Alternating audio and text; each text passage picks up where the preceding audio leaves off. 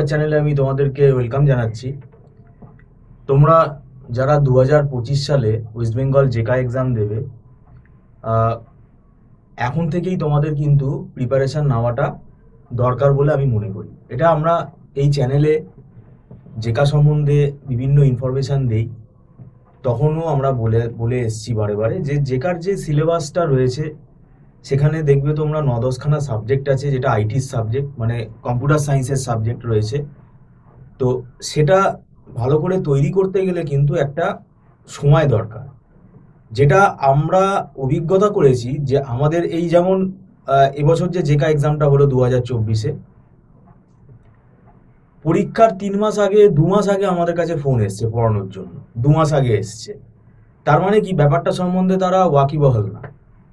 মানে ওই একটা ক্যাজুয়ালি বসতে হয়, বসে যাব, যা হোক একটা র্যাঙ্ক হবে। আর আমার মানে কারুর যদি আর্থিক অবস্থা যদি সচ্ছল থাকে, তারা একটা প্রাইভেট কলেজে টার্গেট করবে। কিন্তু সবাই তো তা না। সবার তো আর্থিক আর্থিক অবস্থা তো ভালোভাবে তার কোনো মানে নেই।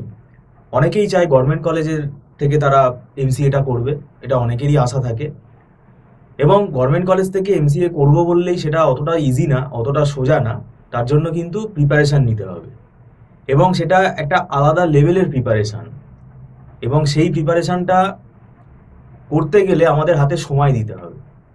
আমাদের ইনস্টিটিউটের একটা রেপুটেশন বজায় রাখতে হয় কারণ আমাদের বিগত দিনে জেকাতে, বিগত যে ইয়ারগুলোতে পরীক্ষা হয়েছে, সেখানে কিন্তু আমাদের সব র্যাঙ্ক হোল্ডার আছে। মানে কেউ যাদবপুরে পেয়েছে, কেউ সিইউতে পেয়েছে, কেউ কল্যাণীতে পেয়েছে। তো মোটামুটি এক থেকে দশের ভেতরেও র্যাঙ্ক আছে, এক থেকে মোটামুটি একশোর ভেতরেও র্যাঙ্ক আছে।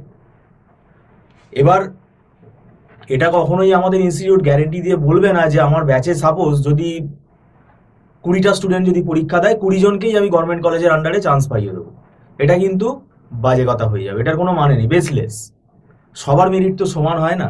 কিন্তু যে স্ট্র্যাটেজিটা ফলো করে পড়া দরকার, সেই স্ট্র্যাটেজিটা কিন্তু আমাদেরকে জানতে হবে, তার একটা টেকনিক্যাল দিক আছে, একটা টেকনিক্যাল ব্যাপার আছে। প্রাইভেট কলেজে যদিও বা কেউ চান্স পায়, সেখানেও কিন্তু অনেক রেপুটেড কলেজ আছে। সেখানেও কিন্তু প্লেসমেন্টের রেকর্ড কিন্তু খুব ভালো। এবং পড়াশোনাও খুব স্ট্রিক্ট আছে, এরকম কলেজও আছে।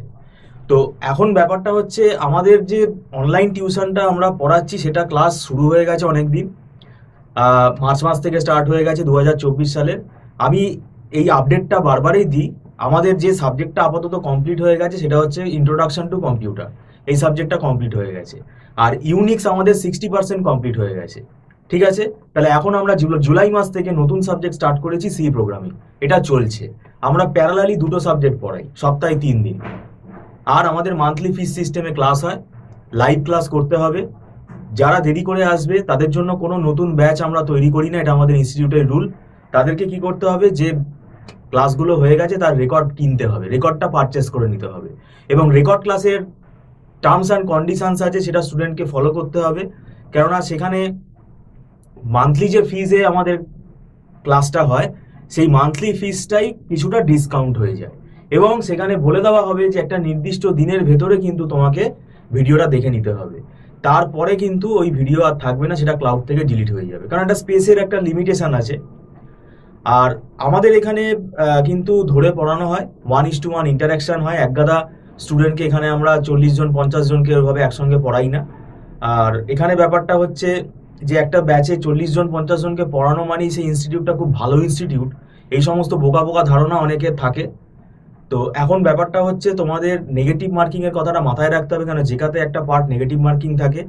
এবং একটা স্টুডেন্টকে দেখে আমরা বুঝতে পারি যে একে কোন কোন চ্যাপ্টারগুলো থেকে করালে এ স্কোরটা ভালো তুলতে পারবে।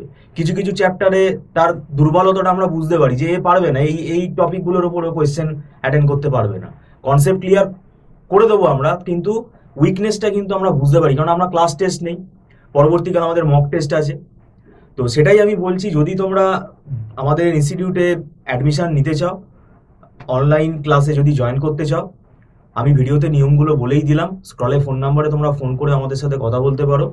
রেকর্ড ক্লাসের ব্যাপারটাও আমি বলে দিলাম। আর এখানে মান্থলি ফিস সিস্টেমে ক্লাস হয়।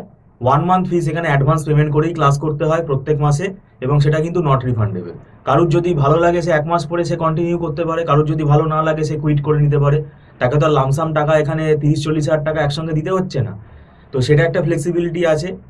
আর আমি বলব যে দেরি করে শুরু করলে কি হবে? দেখো, আমাদের একটা সামনে ফেস্টিভ্যাল সিজন আছে। তো তখন একটু ছুটি যারা থাকে আমাদের ইনস্টিটিউট তাই এখন থেকেই শুরু করা দরকার। এবং যারা নন আইটি ব্যাকগ্রাউন্ড আছো, বা যারা আইটির ব্যাকগ্রাউন্ড আছে মানে বিএসসি কম্পিউটার সায়েন্স বা বিসিএ পড়েছো, এরকম স্টুডেন্টদেরও আমি বলছি, বা বিটেক পড়েছো কনসেপ্ট কিন্তু অনেকেরই ক্লিয়ার নেই। সবার না, কিন্তু অনেকেরই কিন্তু কনসেপ্ট ক্লিয়ার নেই।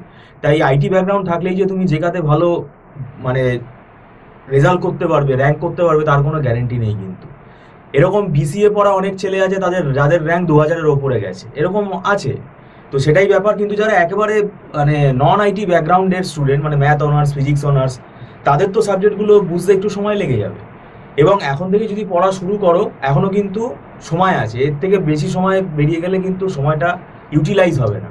আর তোমাদের গ্র্যাজুয়েশনের যে পড়াটা, সেটাও কিন্তু তোমরা সময় দিতে পারবে। কারণ যেটা তুমি আগে থেকে শুরু করলে, অল্প অল্প করে তুমি কিন্তু ধরে ধরে এগোতে পারবে।